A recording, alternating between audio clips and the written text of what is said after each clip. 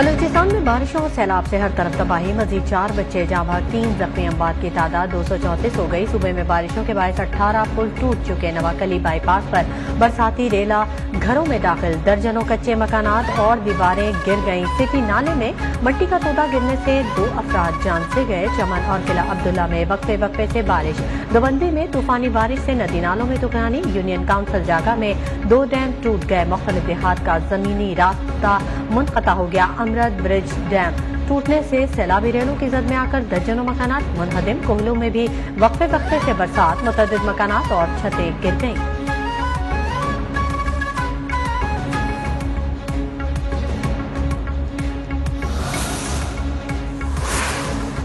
मुसलसल बारिशें और सैलाबी सूरत हाल हैदराबाद के बाद कराची डिवीज़न में भी बल्दियाती इंतबात एक बार फिर मुलतवी। कराची और हैदराबाद डिवीज़न में बल्दियाती इंतबात अट्ठाईस अगस्त को शेड्यूल थे। वज़ीर अला मुराद अली शाह का कहना है कि सिंध इस वक्त दरिया का मंदिर पेश कर रहा है। पंद्रह लाख घर, मुकम्मल तबाह और एक करोड़ से जायद लोग बेघर हैं।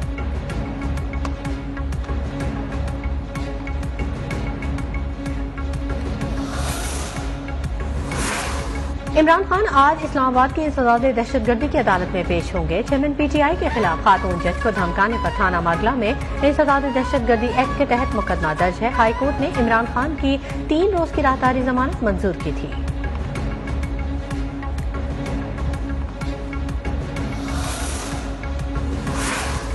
पेट्रोल की फ़ी लीटर कीमत में बीस रुपए तक का इजाफे का खदशा आईएमएफ को भेजे गए लेटर ऑफ़ इंटेंट के मुताबिक रवा माली साल अक्टूबर से पेट्रोल मसूआत पर दस आशारिया पाँच फ़ीसद सेल्स टैक्स आयद किया जाएगा। टैक्स अहदाफ में कमी हुई तो ज़रिए शोबे के सेल्स टैक्स छूट खत्म कर दी जाएगी।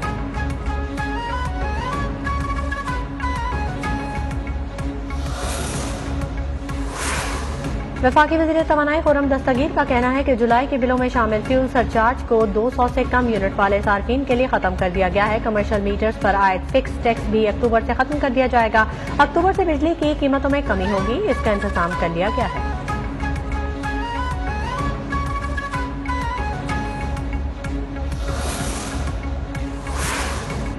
इमरान खान का कहना है कि इम्पोर्टेड हुकूमत से हमारी जान छुड़वा कर मुल्क में साफ़ और शफाफ इलेक्शन करवाए जाएँ। हुकूमत को कहता हूँ, अब जब कॉल दूँगा तो वो आखिरी होगी। इससे पहले इलेक्शन का ऐलान कर दे। जब आवाम चारों तरफ़ से निकलेंगे तो शहबाज शरीफ फजल रहमान और जरदारी उन्हें रोक नहीं सकेंगे।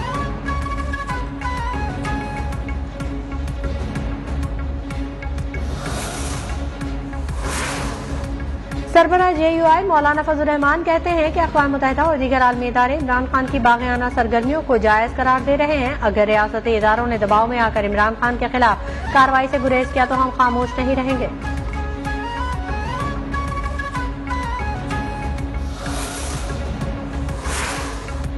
बगावत पर रुखसाने के केस में पीटीआई रहनुमा शहबाज गिल के मजीद जिसमानी रिमांड के सदा मुस्तरद। जुडिशियल रिमांड पर अडियाला जेल मुंतकिल, तिबी मुआयने के बाद भी क्लास देकर सेल में मुंतकिल कर दिया गया।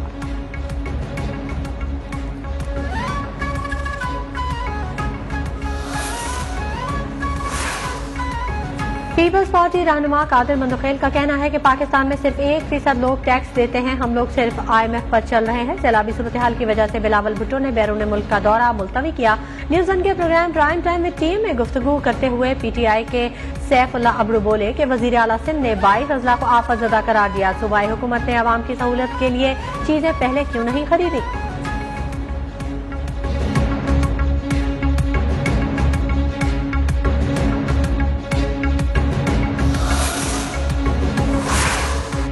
रहनुमा एम के एम ख्वाजा इजहारुल हसन का कहना है कि बल्दियाती इलेक्शन मुलतवी करना, इलेक्शन कमीशन का फैसला है। एम के एम किसी सूरत इलेक्शन में ताखिर चाहती थी ना है। हल्का बंदियों का मामला दुरुस्त नहीं हुआ तो ये जानते बूझते जालसाजी कहलाएगी।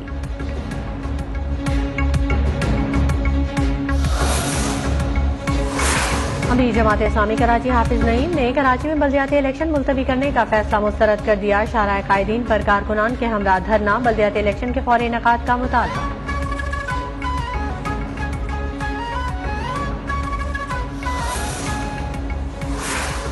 बलूचिस्तान, सिंध और जनूबी पंजाब के सैलाब से मुतासर इलाकों में पाक फौज की इमदादी सरगर्मियाँ जारी। पाक फजाया और पाक बहरिया का भी रिलीफ ऑपरेशन मुतासर में खाने पीने समेत दीगर ज़रूरी अशिया की तकसीम।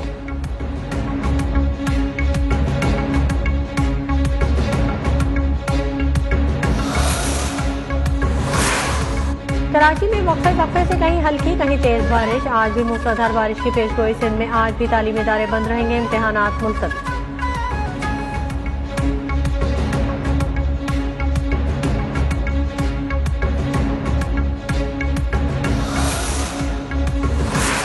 कराची करंगी में पानी की अदम फरहमी के खिलाफ एहतजाज एम के एम के रुकन असम्बली गुलाम जिलानी के दफ्तर पर हमला तोड़ फोड़। पुलिस ने सूरत हाल पर काबू पाया। आमिर खान और वसीम अख्तर भी पहुँच गए। कारकुनों को पुरम रहने की तलखी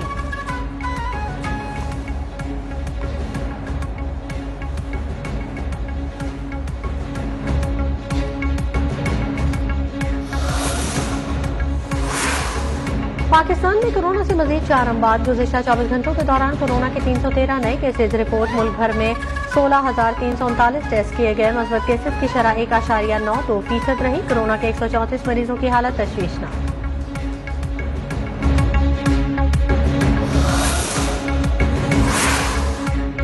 वजी अजम का दौरा कतर। अमीर कतर शेख तमीम बिन हमदुस्तानी से मुलाकात में दो तरफा ताल्लुक खत्े की सूरत हाल पर तबादला ख्याल। वजी अजम का फीफा वर्ल्ड कप स्टेडियम का भी दौरा।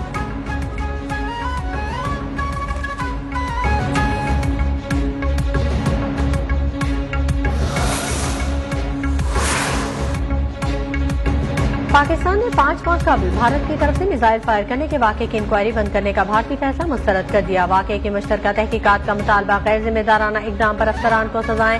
गैर तसली बख्श नाकिस और नाकाफी करार। तर्जमान दफ्तर खाजा आसिम इफ्तार का कहना है कि भारत स्ट्रेटेजिक हथियारों को संभालने में तकनीकी खामियों को इंसानी गलती के नीचे छुपा नहीं सकता।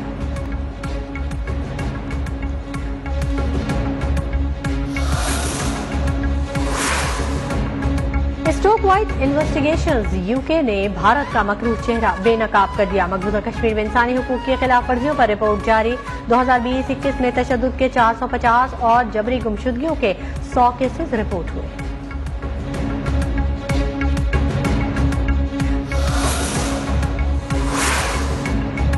दुबई में कौमी स्क्वाड का तरबियती कैंप। मोहम्मद हसनैन आज ट्रेनिंग सेशन ज्वाइन करेंगे। एशिया कप में पाकिस्तान और भारत का टाकरा अट्ठाईस अगस्त को होगा।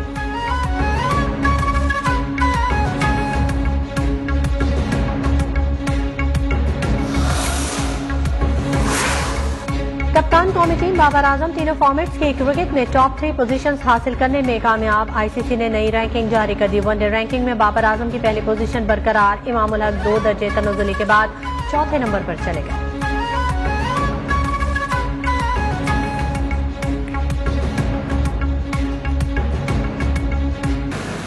चलो वो इश्क नहीं चाहने की आदत है।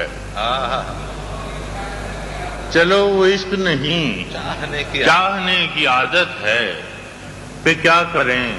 हमें एक दूसरे की आदत क्या कहने? तुम्हें भी जिद है कि मश्क सितम रहे जारी। तुम्हें भी जिद है कि मश्क सितम रहे जारी। हमें भी नाज के जौरो जफा के आदि हैं।